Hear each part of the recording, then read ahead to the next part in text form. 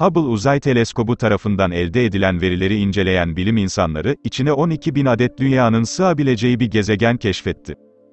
Üstelik bu gezegen, hem oluşumu hem de özellikleri bakımından, dikkatleri de üstüne çekmeyi başardı.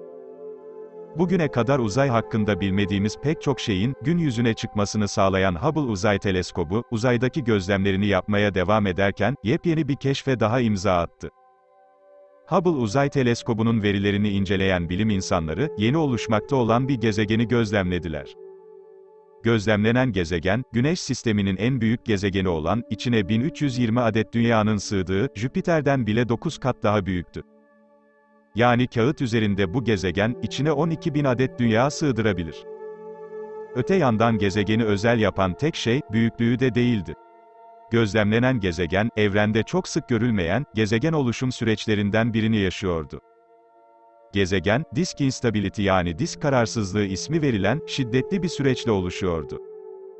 Bu süreç, aslında Jüpiter gibi büyük gezegenlerin, oluşmasından sorumlu tutuluyordu.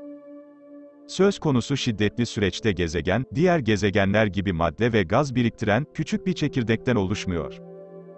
Bunun yerine gezegen, bir yıldızın etrafındaki gezegen öncesi diskin soğuması ve, yerçekiminin onun bir veya daha fazla, gezegen kütlesi parçasına bölünmesiyle oluşuyor. AB Orion B ismi verilen yeni gezegen, kendi yıldızı etrafında 13.8 milyar kilometre uzakta, yani bizim sistemimizin Güneş'e en uzak gezegeni, Neptün'den bile iki kat daha fazla uzaklıkta dönüyor. Gezegenin bulunduğu yıldız sisteminin ise, henüz yaklaşık 2 milyon yaşında olduğu düşünülüyor. İçinde bulunduğumuz Güneş sistemi ise, 4.6 milyar yaşında.